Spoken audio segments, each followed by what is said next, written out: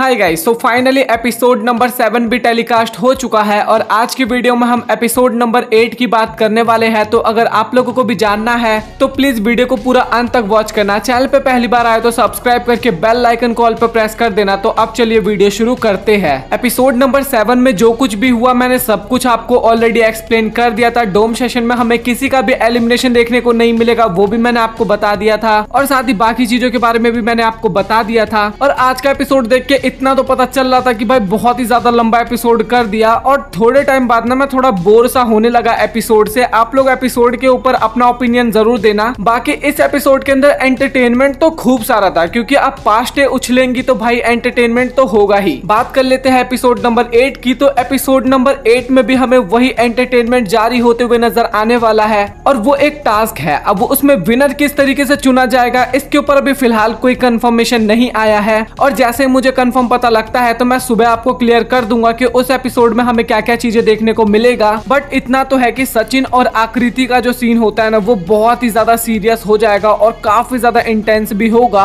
और वही बाकी लोगों का सीन में ना उतना ज़्यादा हाईलाइट नहीं किया जाएगा बट उन दोनों का सीन बहुत ही ज़्यादा हाईलाइट किया जाएगा।